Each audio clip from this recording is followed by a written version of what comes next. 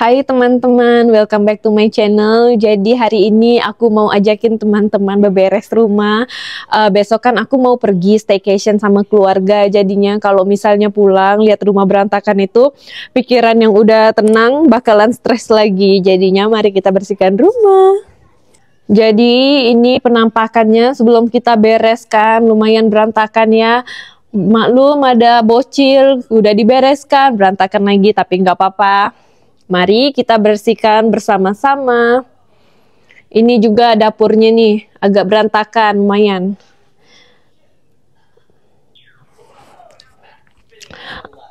Aku nggak deep clean hari ini karena udah deep clean beberapa hari yang lalu, tinggal beres-beres yang kelihatan aja gini sih.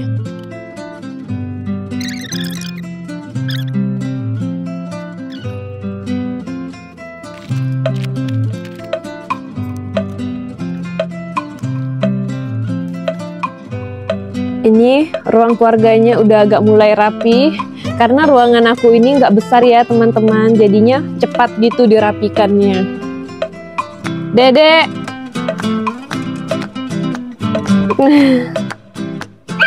Nih galonnya mau aku pindahin sama aku mau rapikan snack-snack yang ada di situ juga. Dan ini kebiasaan tidak bagus karena kita suka beli makanan ya. Kalau ke toko pengen beli ini pengen beli itu. Tapi akhirnya tidak dimakan.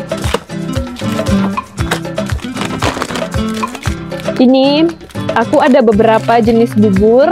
Nanti aku pengen penasaran banget mana bubur yang enak. Ini ada yang dari Korea ada yang dari apa nih Vietnam sama ada yang dari Indonesia. Tapi cuman nggak tahu mana yang lebih enak mari nanti kita review juga ya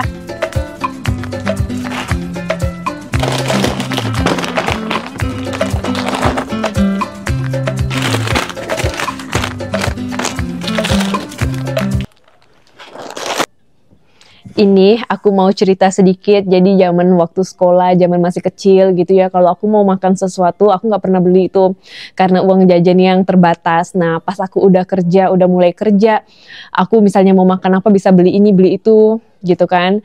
Nah, sampai sekarang masalahnya aku pengen beli makanan ini, aku beli, aku pengen beli ini aku beli gitu kan. Tapi udah sampai di rumah aku cuma makan satu atau dua terus aku nggak makan lagi. Akhirnya mubazir. Jadi resolusi tahun 2024 adalah habiskan dulu makanan yang di rumah baru deh nanti kalau udah benar habis baru aku beli lagi. Ada nggak sih yang sama kayak aku kayak gini? Kepikirannya tuh sama makanan makanan. Terus masalahnya lagi tuh sama suami aku juga kayak gitu. Dia kalau ngelihat sesuatu kan uh, makanan gitu ya dia bilang aduh ini kayaknya enak ya nanti dia beli. Nanti dia makan satu terus dia nggak makan lagi. Abisnya dia bukan orang mengemil tapi lapar mata. Terus anak-anak juga nggak suka ngemil. Makan satu makan dua terus udah. Nggak yang tipe makan habisin gitu nggak. Makan snack sedikit-sedikit aja gitu Nih, ini udah kita review dari berapa bulan yang lalu masih ada. Aduh, pusing kepala. Nih, beef jerky. Kalau ini kan nggak bisa disimpan lama ya, ada batas harinya gitu. Ini jadinya mau beberapa nih mau aku buang. Sayang kan? Jadi sekarang Ade udah tidur siang supaya ada yang menemani kita berberes, makanya kita hidupkan lagu dulu.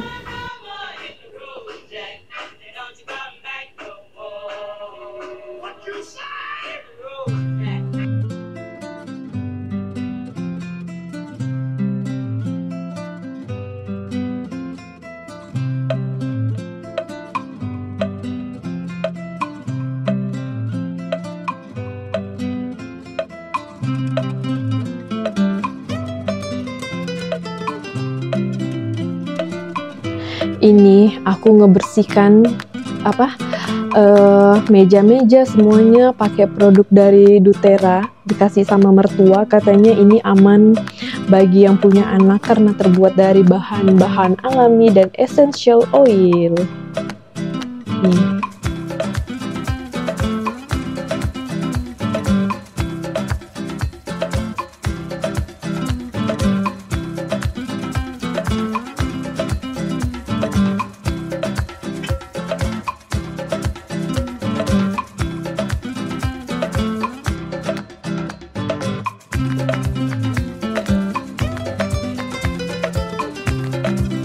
Ini dedaunannya aku pindahin di sini tapi di sana terlihat seperti kosong jadi kayaknya balikin lagi deh.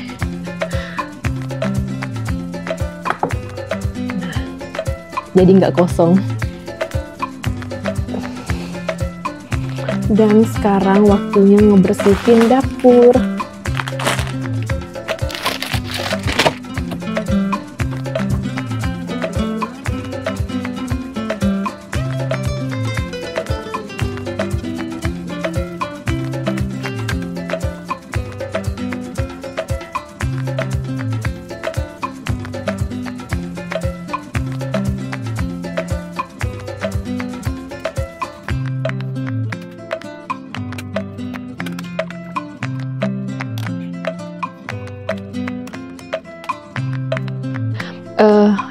bikin bersyukur tinggal di sini walaupun semuanya dikerjakan sendiri tapi kayak ada mesin-mesin yang ngebantuin.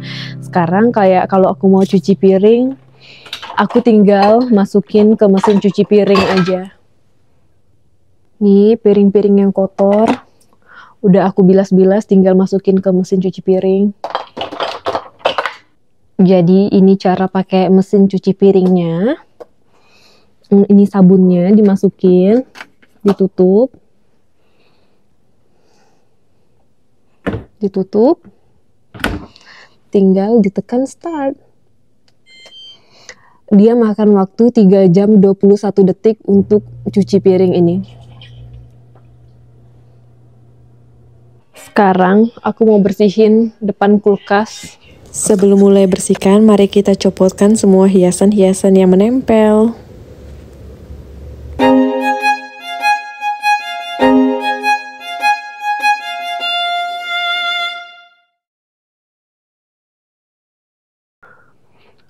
Untuk ngebersihkan kulkas aku pakai ini stainless steel dari Spareway semprotkan dulu di apa di kain ini yang bersih. Lalu baru udah digosok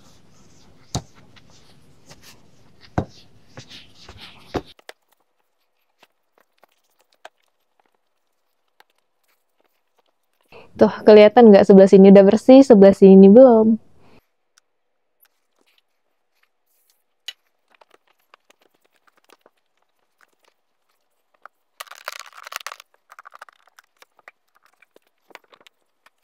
Udah bersih kulkasnya.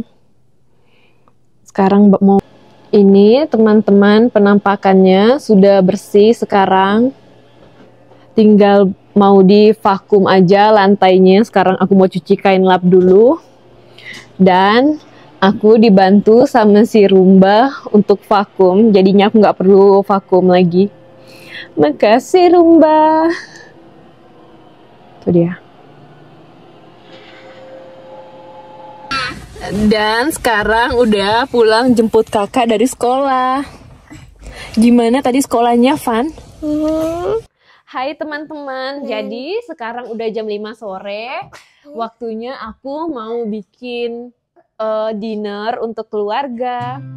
Jadi aku pengen masak uh, salmon uh, saus madu, sama aku cuma mau tulis kol aja. Ini bawang putihnya udah aku uh, apa haluskan. Karena ini lumayan rempong, jadinya nggak bisa videoin deh tentang masaknya.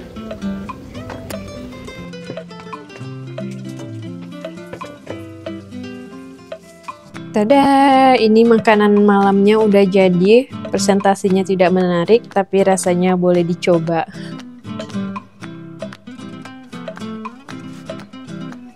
Ini untuk bocil-bocil. Ini punya aku. Ini punya suami.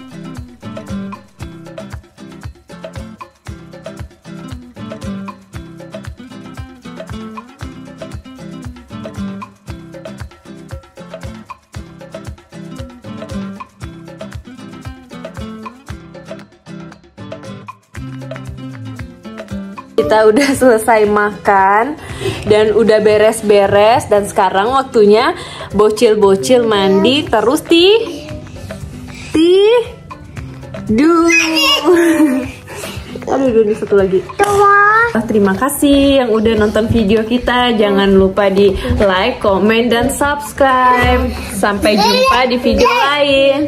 Bye.